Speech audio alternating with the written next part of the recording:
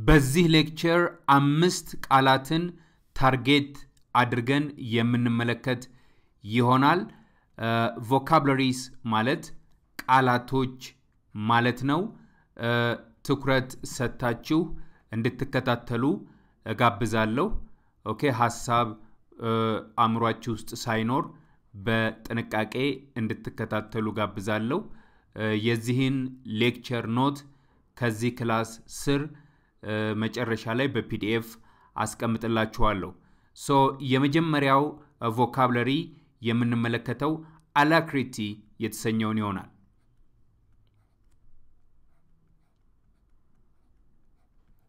Alacrity okay፣ ምን ማለት ነው የሚል ጥያቄ ልናነሳ እንችላለን። Alacrity ሲባል ሰምታችሁ ሊሆን ይችላል። ስለዚህ ምን ማለት ነው? ዊዝ ስፒድ ኤንድ ኢንዙዚያዝም ማለት ነው። ዊዝ ስፒድ ዊዝ ስፒድ ኤንድ ኢንቱዚያዝም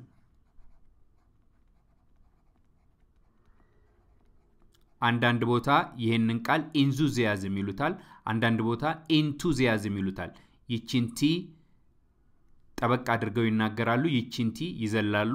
የ accent ጉዳይ ነው። የተመቻችሁን መምረጥ ትችላላችሁ። Enthusiasm ማለት ትችላላችሁ። Enthusiasm ማለት ትችላላችሁ። Okay so alacrity ማለት with speed and enthusiasm ወይም enthusiasm ማለት ነው። So ምን ለማለት ነው? በጉጉትና በፍጥነት ለማለት ነው። ወይም ስታገላብጡት በፍጥነትና በጉጉት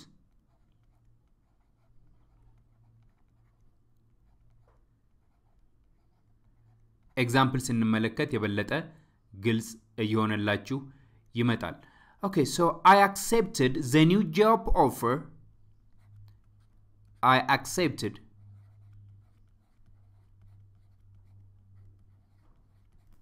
the new job offer with alacrity.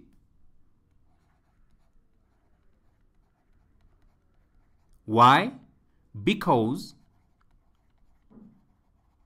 because I was eager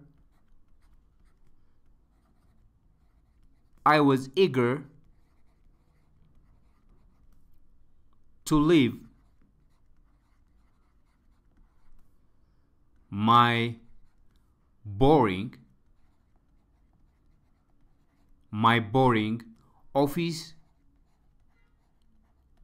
office job you see i accepted the new job offer with alacrity አዲሱን ስራ በፍጥነትና በጉጉት ተቀበልኩ ለምን ምክንያቱም ኦኬ ቢካዝ አይ ዋዝ ኢገር ቱ ሊቭ ማይ ቦሪንግ ኦፊስ ጃብ አሰልቺ የሆነውን የቢሮዬን ስራ መቀየር ስለምፈልግ መተው ስለምፈልግ አዲሱን ስራ በፍጥነትና በጉጉት ተቀበልኩ።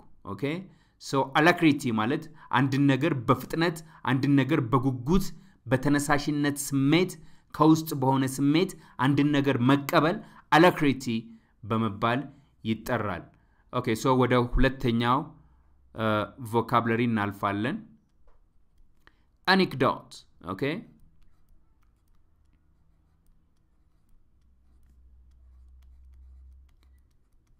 አኒክዶት ምን ማለት ነው a short a short interesting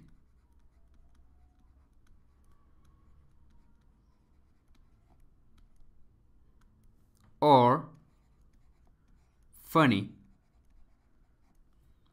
story about someone has done someone has done okay anecdote ማለት a short interesting or funny story about someone has done አሁን ቃላቶቹን ነጣጥላችሁ ብትመለከቱ Guess ለማድረግ ትችላላችሁ። Short እሺ አጭር ለማለት ነው።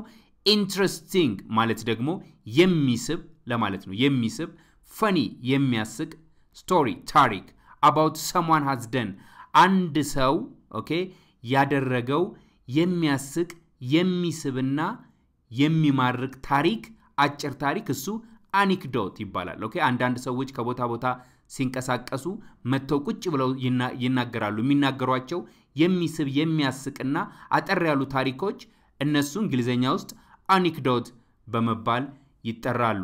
ኦኬ ምሳሌ እንመልከት። ጆን is full of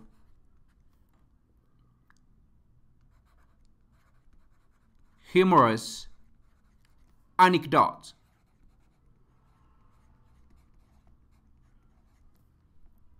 About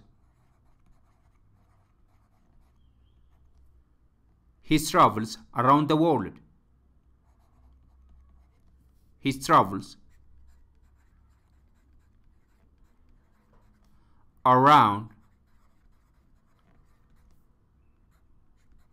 the world. Okay? John is full of humorous anecdotes. ጆን የተባለው ሰውዬ የሚያስቁ ደስ የሚሉ ታሪኮች አሉት ውስጡ። በሚያስቁና ደስ በሚሉ ታሪኮች ውስጡ የተሞላ ነው። ዓለምን በሚሽከረከርበት ጊዜ ያሰባሰባቸው ስለሆኑ Okay, so John is full of humorous anecdotes about his travels around the world. So anecdote ማለት አሁን ምን ማለት ነው? የሚስብ የሚያስቅ ደስ የሚል ነገር ግን አጠር ያለ ታሪክ እሱ anecdote በመባል ይጠራል። okay so ሶስተኛ የምንመለከተው vocabulary conjecture ይሰኛል።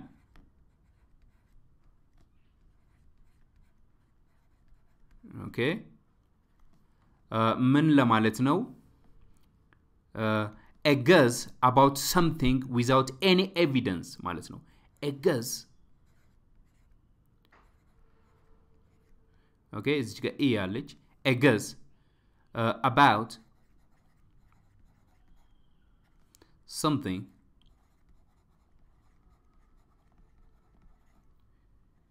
without any evidence okay without any evidence.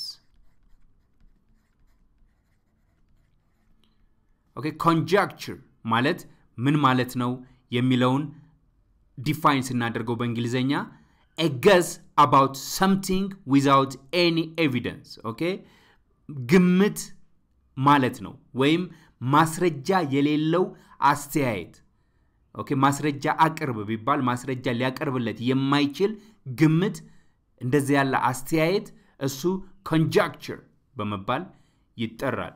okay so ምሳሌ እንመልከት። there has been there has been a lot of conjecture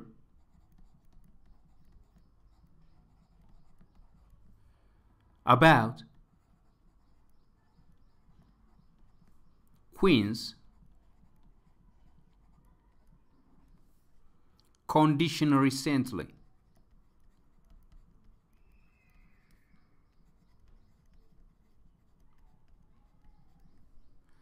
But she appears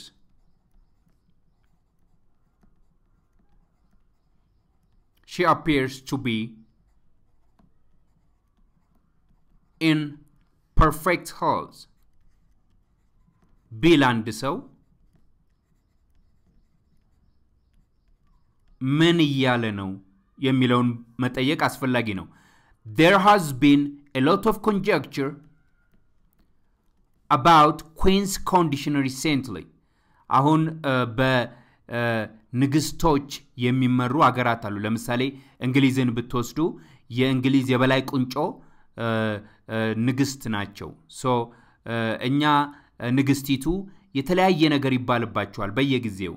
ስለዚህ ማስረጃ የሌለው በርካታ ነገሮች ስለ ንግስቲቷ ይወራል። but she appears to be in perfect health ነገር ግን በሙሉ ጤነኝነት ላይ ትገኛለች ነው ተናጋሪው እያለ ያለው። ስለዚህ conjecture የሚለው ቃል ትርጓሜው ማስረጃ የሌለው ግምት ለማለት ነው። okay ምሳሌውንም ስትወስዱ ተናጋሪው ማስረጃ የሌላቸው ግምቶች ይነገራሉ። ብዙን ጊዜ የአገር መሪዎች ላይ okay አርቲስቶች ላይ ተመልክታችሁ እንደሆነ በጣም ታዋቂ የሆኑ ሰዎች ላይ ማስረጃ የሌላቸው ግምቶች በየጊዜው ሲነገሩ ይታያል። እከሌ እከሌን አገባ፣ እከሌ ሞተ፣ ድንገት ያልሞተን ሰው ይነገራሉ። ስለዚህ እንደዛ የሚባሉና የሚነገሩ ነገሮች conjecture በመባል በእንግሊዝኛ ውስጥ ይጠራሉ ማለት ነው። አሉባልታ እንደማለት ነው። አሉባልታ ዝም ብሎ የሚወራ ወሬ okay፣ ማስረጃ የሌለው ነገር we call that is conjecture። ነምበር ፎር skirmish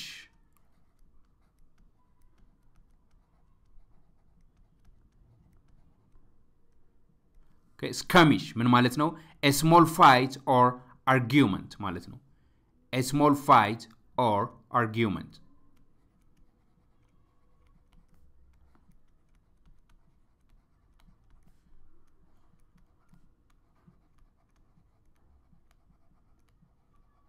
okay small fight or argument ጭቅጭቅ ማለት ነው። በሰዎች መካከል አጠር ያለ ንትርክ ጭቅጭቅ ሲፈጠር እሱ በእንግሊዝኛ skirmish ይባላል። እስቲ ምሳሌውን ለመመልከት እንሞክር። Mary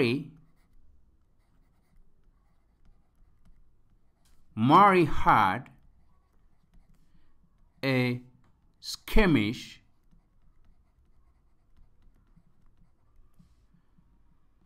with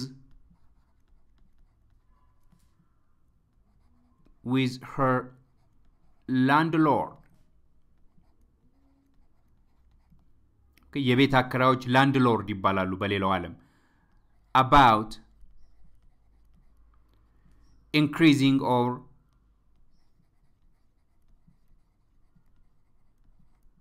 about increasing of her monthly okay? Monthly rent. All right so mary had a skimish okay? Mary ከቤት አካራዋ ጋር ተጨቃጭቃ ነበር። ምንም በተመለከተ ወርሃዊ ጭማሬን በተመለከተ በየወሩ ይህን ያህል ጨምሬ ያለው ይህን ያህል ጨምሬ ያለው ብለው የሚናገሩ የቤት አከራዮች በአካባቢያችን ቢኖሩ ብትመለከቷቸው ከተከራዮች ጋር ይጨቃጨቃሉ። ስለዚህ ያ የጭቅጭቅና የንትርክ ተግባር we call that is skirmish። okay alright so አምስተኛ zeal ምን ማለት ነው? ግሬት ኢነርጂ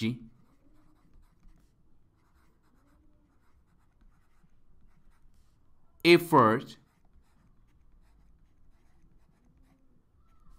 and enthusiasm.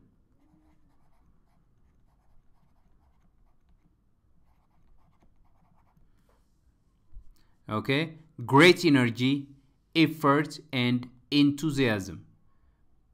እስቲ ምሳሌ እንመልከት። The woman's zeal, the woman's zeal for helping the poor and changing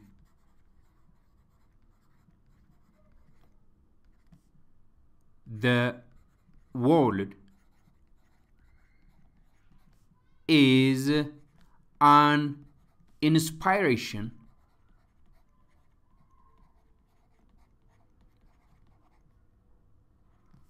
to everyone.